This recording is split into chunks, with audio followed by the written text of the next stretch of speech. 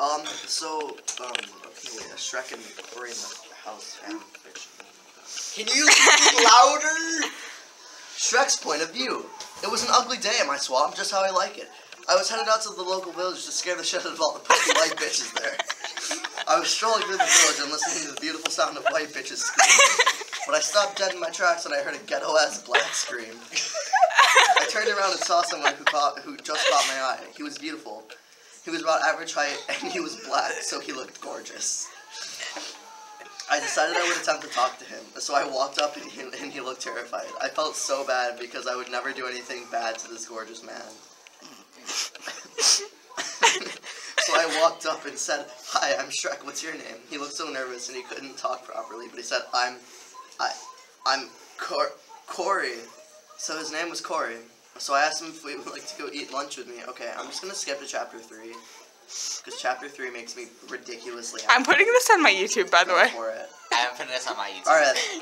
You'll I- finally I- have something on your this is- YouTube. guys, hey, douchebags. All right. Cory's point of view. I'm going to just say it. I'm sorry, what are you reading? A fanfic. Shrek, I love you. I know I have only known you for a few days, but Shrek, I love you so much, and I just didn't feel right because I wasn't being completely honest with you. So Shrek, I love you. Oh my god. There, I said it. Oh, oh my no. God. Shrek is just standing there staring at me. He probably thinks I'm weird. I knew he would never love me back. I just made a huge fool of myself. Shrek's point of view. He loves me. He really does. I thought he would never love me. reading it out Cory, loud. I love you too. He looked at me oh, and smiled and said, "You do? I really do. I thought he You could can leave never if you love want me to. back." I want that. So I I've never heard said it anything. so many times. It's, it's, No, it's just a different fanfiction. It's just Alright. fiction, so. Alright. Cory's point of view. He loves me back. Oh my god, yay! I pulled him in and we shared the most passionate uh-huh. kiss. Oh it my was God. so amazing. I want I him so bad. I can't. seductively whispered in his ear, Do you want to come inside me? Oh my god. Manny. He smiled at me and we walked inside and I led him to my bedroom. When we got inside, I shut the door and pushed him up the wall and started kissing him. We, we then started undressing each other and he pushed me back into bed and said, Are you sure about this? In his thick Scottish accent. Wait, he's a Scottish accent. I never knew that. I knew he didn't want to hurt me. He just wanted to make sure I was comfortable with this.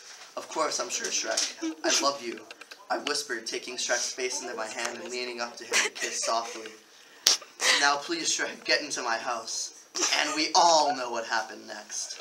Wait, there's a chapter four. oh my god. Let's see what happens in chapter So after I, so after I had fucked Shrek so hard, I started getting morning sickness about two weeks after, and I got really worried.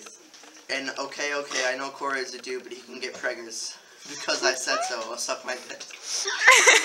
So I went and bought a packet of emergency of pregnancy tests, and I used all of them, and they all had a plus sign. And I started crying. How do I tell Shrek that I'm preggers with his baby? I don't know what to do. Maybe I should get an abortion, but I don't have seven hundred dollars, and I can't get that money because I because I donate all the profits from my show to charities. Maybe I should just run away and raise the children as a single mother. I don't know how to tell Shrek. I mean, neither. He would leave me. I just know it. I know he wouldn't want this kid. I mean, neither do I, but we didn't use protection, and this is what happened. I am cutting it off right there. I am done. So Tyler, what do you think of this fanfiction? I think it's worse than Shrek is Love. Shrek You're welcome for telling you about it. Wait. I want to read the fic now. Caution: This fic contains this fic contains extreme sexual moments and animal abuse. If you are of the faint-hearted, triggered easily, or, re- or just don't really want to read things like this, then stop here. Read more.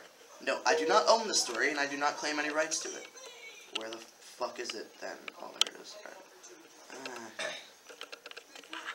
It's Dan and on fire and amazing Hurry right? Uh, uh, hey Dan, can we get a hamster? I've always wanted one, but my roommate never thought that we would look after it. Phil, we've talked about this. You wouldn't look after it properly. You can hardly look after yourself, he retorted. It wasn't really in an angry way, but he never even took into account that I was older than him and I lived by myself before him, so getting a hamster wouldn't be that bad. I decided not to argue. Dan was so stubborn and wouldn't change his mind. I was going into town later anyway, so I needed to get changed. I put my usual skinny jeans and a top on. I finished getting the, the few pieces of food that Dan and I needed and was heading back to the bus. When I walked past the pet shop, I couldn't resist but walking in, and I saw a cage with a small fluffy black and white hamster in the corner. Was priced at ten pounds. It was too small to cute. It was too small and cute to say no, so I bought it and a cage. I walked out just as my bus arrived. I paid my fare and hopped on. I couldn't stop smiling. My hamster was one of the best things I've ever done, or that's what I thought. Hmm. I got home and shouted out to Dan. Dan, come and see what I bought. He bounced into the hallway to the front door.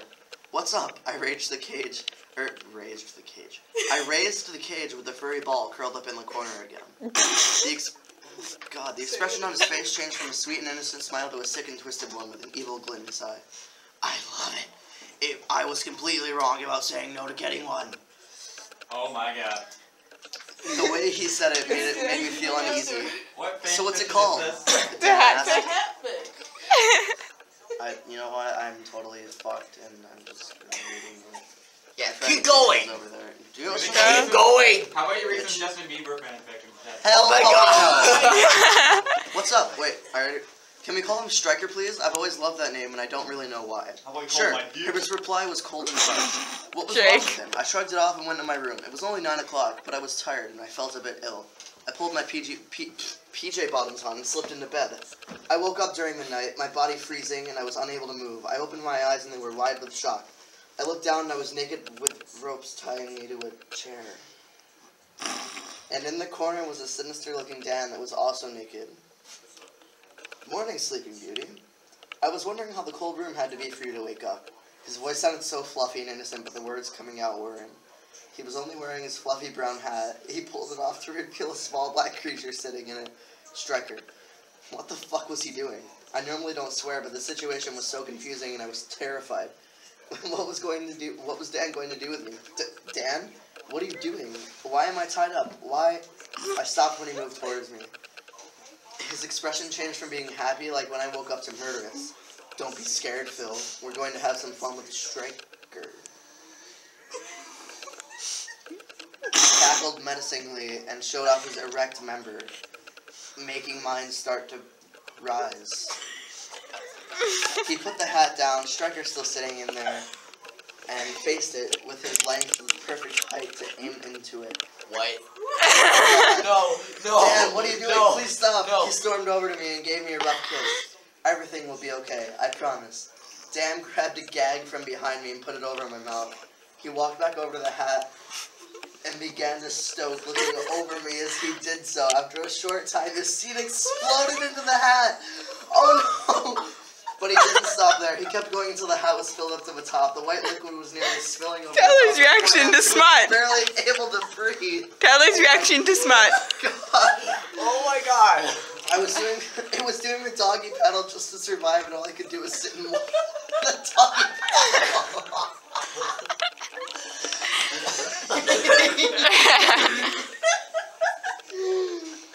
Oh my god. and all Dan grabbed the hamster's head and pushed it down into his own sperm. Oh my god. Five minutes after after five No, minutes of a sick stop gaze, now. he pulled it back Stop up dead. now. He snapped the hamster's head off. That's bone shattering, making a mumble that was supposed to be a sarcasm. Or it was supposed to be Tyler, a not Tyler, sarcasm. Fuck up, Jake. Tyler, how are you shut the fuck up and stop Tears, tears flow down my face, and he squeezed the blood of the stri- he squeezed the blood of the striker into the hat. He looked, he looked over at me. He was sick and twisted, but also kind of sexy. Oh my He picked up the hat god! and moved towards me with one hand and undid the gag. Open wide. Oh, oh, Oh no, Open wide, he said sarcastic tone. I did as I was told. I didn't know what else was hiding behind me. He began to pour the sperm and blood mixture into my mouth, only for me to realize he had put my poor striker back in there, head and body. The fluid tasted disgusting, partly because I had gone cold, but also because I was knew it my hamster's blood I was drinking. He pulled back halfway through, not that I'm complaining, and said, Good little Phil, do I taste nice? My eyes widened. What do I say? I was about to open my mouth when he slapped me. Speak, bitch! oh my god. Wanted to raise my hand to my face. My cold face stung when, when this hot, sticky hand touched it. You did amazing, Dan. I managed to choke out. Um, so I'm gonna stop reading, like, right there. Oh my god, that was horrible. that was horrible. Wait His minute. first time ever knowing about smut. He poured hamster, hamster Blood. guts and sperm into Oh my his mouth. God. Once again, people are fucked up. This is why I hate fan fiction.